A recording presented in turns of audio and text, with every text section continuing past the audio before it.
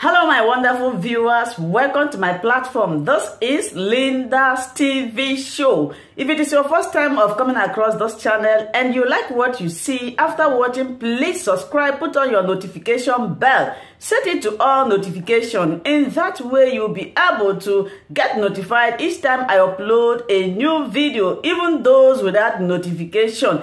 Here we react to all forms of videos, international and local. Every Saturday by 2 p.m. we have our interaction section. You are free to call in to air your opinion about the happenings in our society. Invite your friends, share my videos with your families and colleagues. Do not keep this information to yourself. Myself, I will be sitting down here to watch this video together with you from the beginning to the end. Then we'll go to the comment section and leave our comment, our opinion about the video we watch constructively as we watch this video, my people. Very powerful enemies. That is why you must be well disciplined. If you want Biafra, which I know we all want, believe you me, we have to be disciplined. From the men in the bush to the average child on the road, there must be discipline. Without discipline, our enemies will keep undermining us. Do you know when Catriona Laing said she was going on holidays, I knew something was wrong? So it didn't shock me when I heard yesterday that, uh, was it two days ago, that Gulak was shot in nowhere. Ask yourself this question, why would IPOB want to kill Gulak? Who is he? Do you know what the papers in Nigeria have been writing, even including Sahara reporters, of all people? Premium Times, Daily Trust.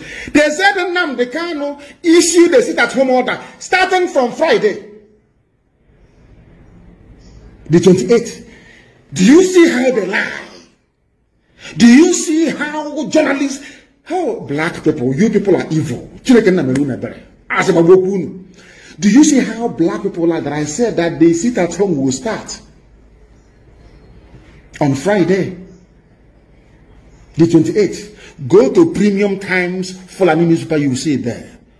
Go to Sahara Reporters, you will see it there that it is because of the sit at home order. Do you see how they planned it? God exposed them.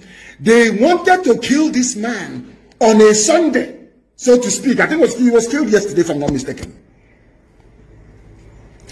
Do you know that they wanted to kill this man on the day of the sit at home? Not knowing that Chukwukika is merciful, I shifted it to today being Monday. Do you see how it works? They want, can you imagine if they had any sense? Do you see how God works? If they had any sense at all in their brain, they would have waited to kill him today. He was assassinated by Monguno, El Rufai, Garba the person that planned this assassination and cemented it is the British High Commissioner to Nigeria, Catriona Laing. They planned to kill him in Owerri, of all places. They planned to kill him during our celebration or remembrance of our heroes. So they will blame it on IPOB and then start killing Igbo people in the north. It's a very simple game plan. Very, very neat and clean. But you know, as they say where we come from, please, I don't know who's going to interpret, not right. Because our hands are clean. This man told us about his killer before they killed him. And I'm going to play his voice for you. After playing his voice, I want the wife of Gulak, Ahmed Gulak, to demand the telephone records of the husband. After all, the record conversations in the zoo. Madam, Go and look. Ask MTN, your husband has about three phones. He has about three phones. Yes? About three phones. Ask all the networks he's using to give you his phone records and his text messages. There you will see the killers of your husband. That it is not IPOB. Let me tell you what the man said before they killed him. The reason why they killed him, to tell you how evil they are. The reason why I know that Britain is behind this is the way they play. I know they must demonize you to kill you. They first demonize you. That's how they do. It was this same woman, Catriona Laing, that demonized Robert Mugabe, demonized him, demonized him before the world. The same woman. They sent him to come and do this. That was why they formed BBC. Once they created BBC, the Catriona Laing came to, to work hand in hand. But they refused, oh, or I wouldn't say refused, they failed to understand that our people are naturally intelligent. Biafran people are by nature very intelligent. How many they can tell when they're trying to deceive them. Let me play you the voice of the man, Ahmed Gulak, that they killed. And in this very clip of his, you will hear the name of his killer that they want to pin Ananam Kano. But uh, uh, I pray seven times every day. This God I worship, if He cannot protect me, then what am I doing? What, what is He doing as God? They got the dates wrong. If they had killed him today, they would have blamed it on me. But they got the dates wrong. And they never knew that this video will come out. This is the reason why you must work very hard to ensure the disintegration of Nigeria. Nigeria is an evil enclave. Listen, let's listen to the man that they killed. I wanted to blame it on Nnamdi Kanu and IPOB. Let's listen to him.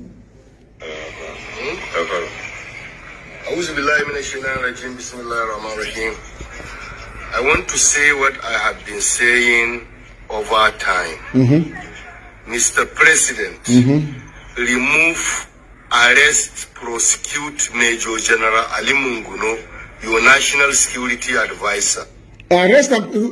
So this is the this is Ahmed Gulak asking uh, the so-called president to do something. To do what? What are you asking the president to do, please? The man they killed in Owerri, blaming kind of IPOB, ESN. The man that they themselves killed. That is the name of the man that killed him. He's about to mention. Listen. Mr. President, mm -hmm. remove, arrest, prosecute Major General Ali Monguno, ah. National Security Advisor. Monguno. He is corrupt. Uh -huh. He is clueless. Uh -huh. He don't have the interest of Nigeria and Nigerians at heart. Mm -hmm. And that Monguno is a hypocrite. Yes. If he is the NSC, Yes. And he think he have available power within him. Let him arrest me. He is corrupt. Uh-huh. He's a thief. Uh-huh. He's a problem to yes. the security of this country. Thank you. If people are afraid, I'm not afraid. I'm, I'm not afraid. Gulak, he said he's not afraid. Monguno is only busy stealing the monies. They killed him because he accused Monguno, the national security advisor of Nigeria, of corruption. He said, I am not afraid of you. I don't care what you're going to do. This man called Gulak did not even trust Hope Uzodinma, the man he put in power in Imo State. He did not trust him. That was why he left his hotel without telling any security operative because he felt that Monguno was on his trail. That was why there was no siren. He took a simple taxi because he feared for his life. Is it that simple? It's not common sense. If a high-ranking APC official can visit a place and refuse every security protocol, is because he is afraid or in fear of his own life. Have we ever had any encounter with um, Gulak to make him be fearful of his life? No, is the answer. The person that killed him is here. The person that killed him has mentioned his name. But premium times, Sahara Reporters, uh, Punch newspaper, Daily Post, these are evil black people writing rubbish. Evil men and women claiming they are journalists. Evil people. The man mentioned his killer. Told you who killed him. But you are so determined because of you want to serve your British masters. You are so determined to appeal it on IPOB. Okay, I don't know. You people are evil. Oh my God. I want our Hausa service to translate this very broadcast into Hausa language and play it for Hausa people. We don't know who this man is. He's inconsequential. He's a nobody to us. Intellectually, he's not a force to be reckoned with. I never mentioned his name before because I don't know, I don't know who he is. But you see, do you see how God will always save us if we, if we, if our hands are clean? He will always come. To, do you see how God, in His infinite mercy, told these murderers to kill Ahmed Gulak on a Sunday? Do you see how it works? Our sit at home lockdown is today. That's the only thing that saved us. And the existence of this video, where he told them who killed him. that every newspaper editor in Nigeria, including Vanguard, they have collected money. Do you see why God hates black people? God hates because black people are wicked and evil. Look at your journalists writing, look at your journalists aiding and abetting lies and evil. This man made a video and told you that he's and who is going to kill him. But you to be IPOB. Let us listen once again to what he has to say. For the last time. So that when you're reading all those junk, you know what to tell them. Do you see how they want to incriminate us? And tag us bad people? If you go to to Google now, type in Nnamdi Kanu, you will see there that I killed Ahmed Gulak. They are all in it together. They are all co-conspirators, all of them. All of them. Listen. Mm-hmm. He prayed. I want to say what I have been saying over time. Mr. President, mm-hmm. remove, arrest, prosecute Major General Ali Monguno. That's the man that killed him. Ali Monguno is the man that killed Ahmed Gulak. Simple and short. Why, why is it that Nigerian journalists are trying to pin it on IPOB? Why? I'm asking them. Yoruba journalists, why are you people this evil? What type of demon created you people? You have no soul and you have no conscience. Oh God, let's continue listening.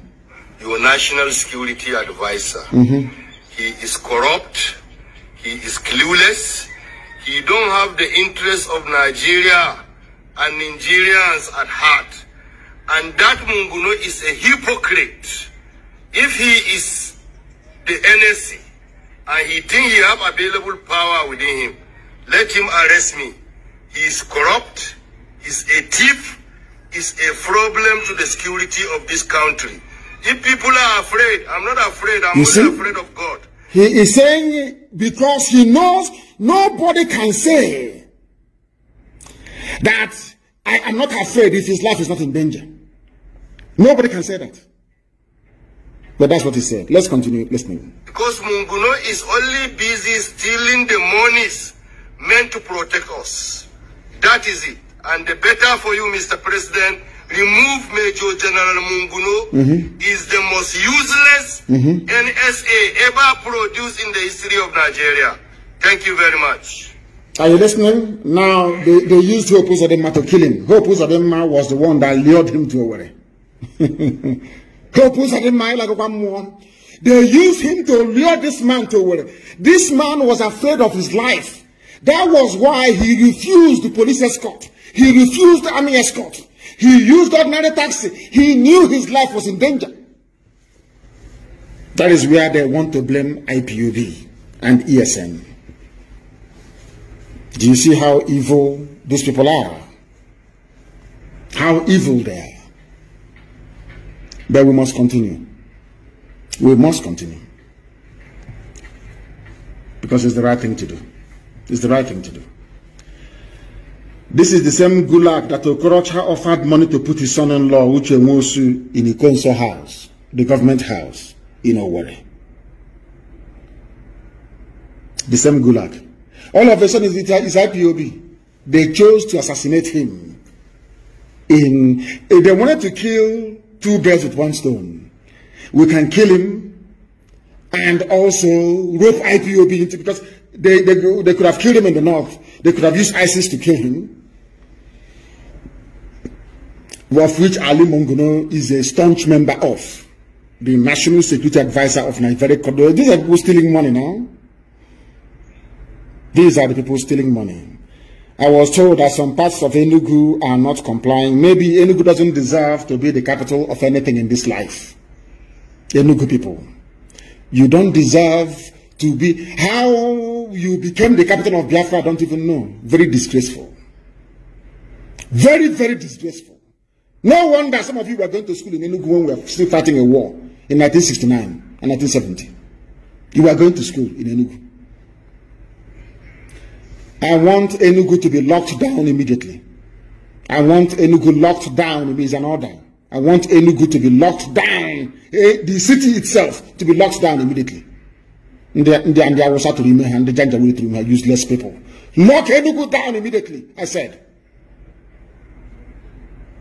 That is why Fulani can come and kill you at also one, kill you at a, at a Nimbo. You do nothing. You do nothing.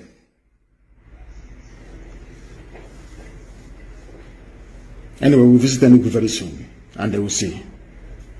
They will see. The whole Gulak subterfuge is something we Biafrans are used to. Britain wanted to stop Biafra, wanted to stop Dr. Dr. Michael up, and all they did was to get involved and a few people to do a coup. At the end of the day, at the end of that process, we had lost 5 million people and counting. That's how they operate. So when they kill Gulak, you know, what? then Igbos in the north will be massacred. But thankfully, Hausa people have said they are no longer interested in doing the bidding of the Fulani Janjaweed. That's why there's been no killings all this while. Now the Hausa people understand that I am Nnamdi Kanu, I'm also fighting for them. They understand it very clearly. For them to be free from the yoke of Fulani Janjaweedism. They understand it very clearly. The time where you can come with your lies and get away with it is, is, is long gone. Not anymore. Not anymore.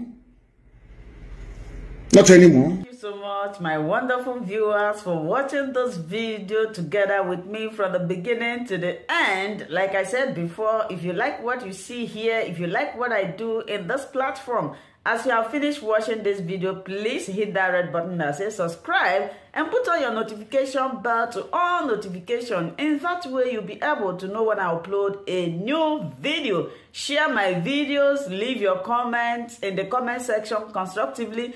Until I meet your way again in my next video, I still remain your Linda's TV show.